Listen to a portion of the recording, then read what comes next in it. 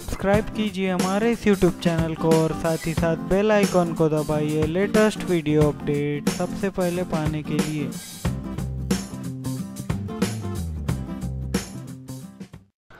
Hello दोस्तों, स्वागत है फिर से एक बार मेरे इस यूट्यूब चैनल में। आप देख रहे हैं नो नेम ओनली तो आज हम देखेंगे एचएससी पोस्ट डिप्लोमा का फॉर्म कैसे फिल करना है, जिसके अंदर डी फार्मेसी होटल मैनेजमेंट ये कोर्स आते हैं यहाँ पर ये ऑफिशियल वेबसाइट है डी की, यहाँ पर एचएससी पोस्ट डिप्लोमा एडमिशन्स पे क्लिक करना होगा, उसके बाद आपको यहाँ पर ये विंडो खुल जाएगा एक नया, उसके बाद इस विंडो के अंदर हम जाएँगे, यहाँ पर आपका कैंडिडेट फुल नेम एज़ पर H S C marksheet fill करना है, उसके बाद father name mother name gender date of birth यहाँ पर रीज, रिलीजन, रीजन, उसके बाद यहाँ पर मदर टंग डालना है, यहाँ पर एनुअल फैमिली इनकम, और यहाँ पर आप देख सकते हैं यहाँ पर आधार नंबर पूछा गया है, आधार नंबर भी डालना होगा, उसके बाद यहाँ पर देखिए ये टिक करना होगा, जैसे ही आप आधार नंबर डालेंगे, यहाँ पर एक चेक बॉक्स आ जाएगा, उसके ऊपर क्लिक करना है,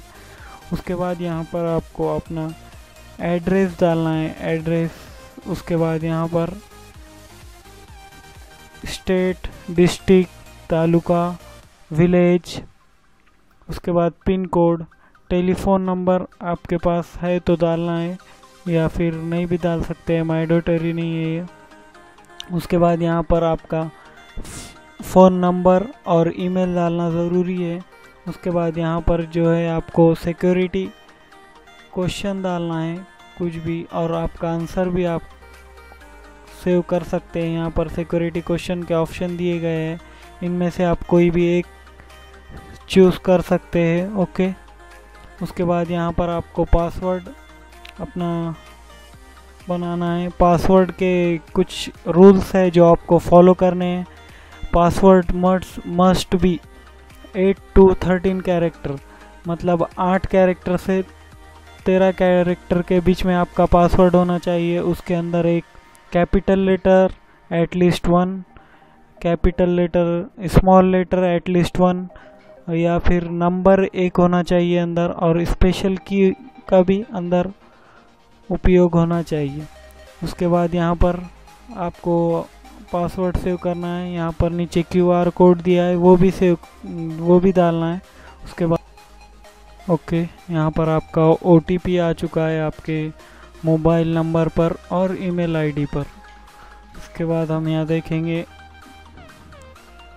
मैं अपना ओ डालता हूँ, ठीक है? वीडियो को पॉज कर रहा हूँ। ओके, यहाँ पर मैंने अपना ओटीपी डाल दिया है। उसके बाद यहाँ पर वेरीफाई ओटीपी कर देंगे। ये यहाँ पर आपकी एप्लीकेशन आईडी आ चुकी है। इस एप्लीकेशन आईडी को आपको सेव करना है। ओके, ये आप नोट डाउन करके भी ले सकते हैं। मैं यहाँ पर अपनी कॉपी कर देता हूँ एप्लीकेशन आईडी ओके।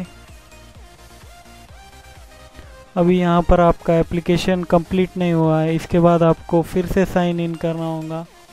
यहाँ पर आपकी एप्लीकेशन आईडी डालना होगी, उसके बाद यहाँ पर आपको अपना पासवर्ड डालना होगा।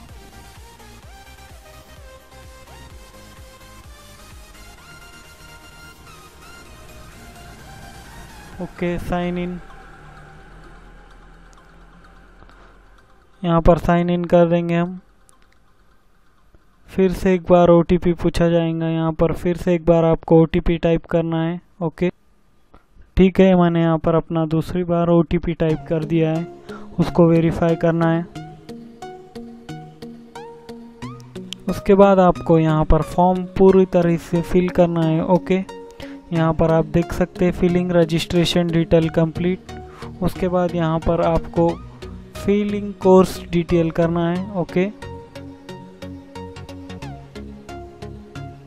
यहाँ पर आपको कोर्स सेलेक्ट करना है.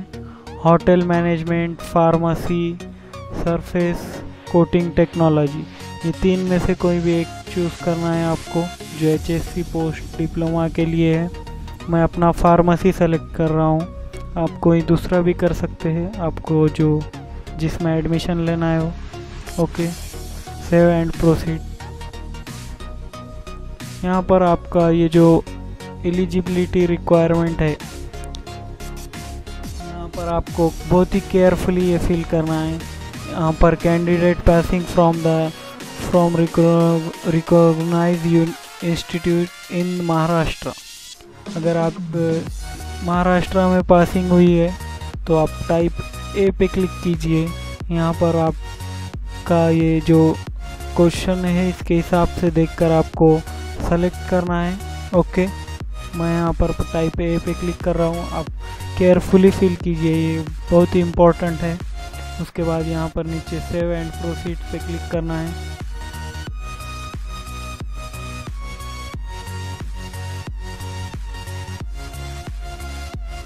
उसके बाद यहाँ पर candidate select district from candidate passed his H आपको, आप किस डिस्ट्रिक्ट में से पास किए आपकी एच उसके ऊपर आपको यहाँ पर सेलेक्ट करना है। यहाँ पर उसके बाद तालुका सेलेक्ट करना है। आपकी एच पास जिस डिस्ट्रिक्ट में हुई है। ओके यहाँ पर तालुका सेलेक्ट कर दिया है। कैटेगरी उसके बाद पूछी जाएँगी। कैटेगरी पे आपको क्लिक करना है। ओके यहाँ पर सेव एंड प्रोसीड फिर से एक बार। उसके बाद यहाँ पर डिसेबिलिटी आपकी है या नहीं है? नहीं है तो नॉट एप्लीकेबल अगर है तो यहाँ पर जो भी ऑप्शन दिए उसके अंदर आप क्लिक कर दिए यहाँ पर इस पेरेंट डिफेंस पर्सनली अगर आपके पेरेंट्स ये एक सर्विस मैन है तो यहाँ पर आप सेलेक्ट कर सकते हैं ऑप्शन उसके बाद यहाँ पर, यहाँ are you orphan okay no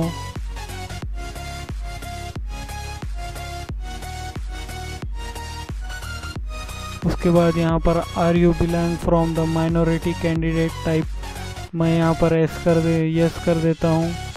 minority से बिलोंग करता हूँ इसीलिए। ओके यहाँ पर ली लीगिस्टिव माइनॉरिटी और religious minority I am religious minority से क्लिक कर देंगे। उसके बाद यहाँ पर सेलेक्ट रिलीजन ओके माइनॉरिटी के जितने भी रिलीजन है वहाँ पर आ चुके हैं। उसके बाद यहाँ पर मैं अपना क्लिक कर रहा हूँ Muslim religion okay save and proceed कर दीजिए।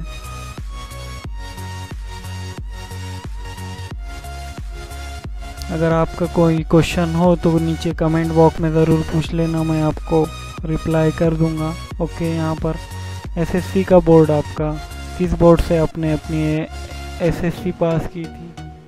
ओके मैं यहाँ पर Maharashtra state board of education select कर देता हूँ। पासिंग ईयर 2016 सीट नंबर भी डालना है आपको। मैं अपना सीट नंबर डालता हूँ यहाँ पर।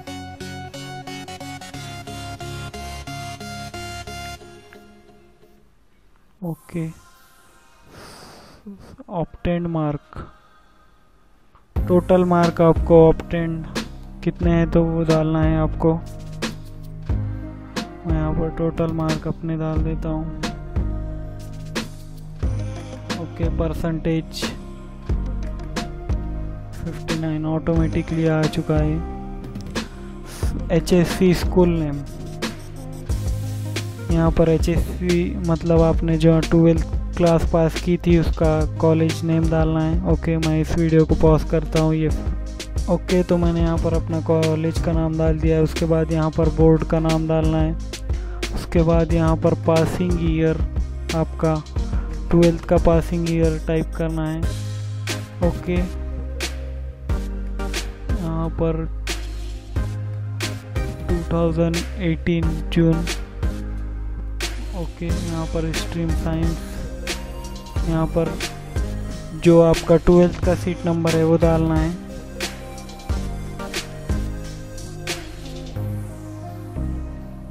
ओके, यहाँ पर मैंने अपना ट्वेल्थ का सीट नंबर डाल दिया है। यहाँ पर आपका name on marksheet of twelfth standard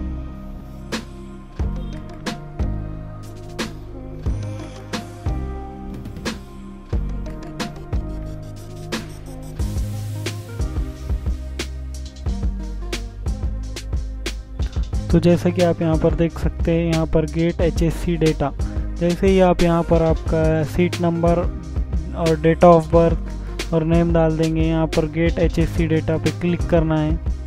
okay यहाँ पर आपका जो है एचएससी का जो रिज़ल्ट है ऑटोमेटिक जनरेट हो जाएगा।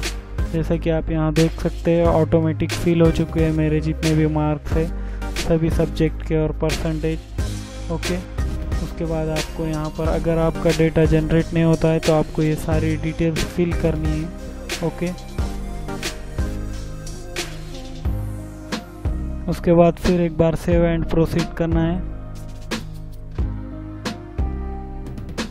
मैं इस वीडियो को थोड़ा फास्ट फॉरवर्ड कर देता हूँ आज, क्योंकि आपका टाइम ज़्यादा वेस्ट ना हो, इसीलिए ओके तो यहाँ पर हमें अपना फ़ोटो अपलोड करना है और फ़ोटो की साइज़ जो है तो 100 के बी से कम होनी चाहिए और 4 के बी से ज़्यादा होनी चाहिए। और साइज़ देखें तो हम 3.5 सेंटीमीटर विथ में होनी चाहिए और हाइट में जो है तो 4.5 सेंटीमीटर होनी चाहिए। ये जो इम्पोर्टेंट इंस्ट्रक्शन है फ़ोटो अपलोड करने के लिए, हमें ये फॉलो करना बहुत ज़रूरी है। और हम यहाँ पर अपना फ़ोटो अपलोड करेंगे और अगर इस इस वीडियो के हम दूसरे पार्ट में देखेंगे कि अपने डॉक्यूमेंट्स कैसे अपलोड करना है। ओके, यहाँ पर मैं अपना फ़ोटो अपलोड करता हूँ। ओके, मैं यहाँ पर अपलोड कर रहा हूँ फ़ोटो। आपको ये फ़ोटो अपलोड करने के बाद हमें जो है पेमेंट करना होगा। आप पेमेंट की फ़ीस है four hundred rupees open category के लिए और एस सी एस टी के लिए कुछ वेरी हो सकती है।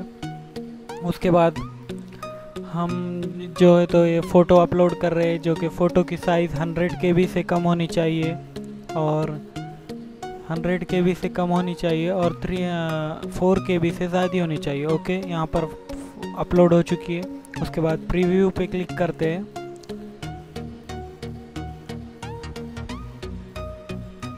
प्रीव्यू पे क्लिक करने के बाद एक नया टैब खुलेगा।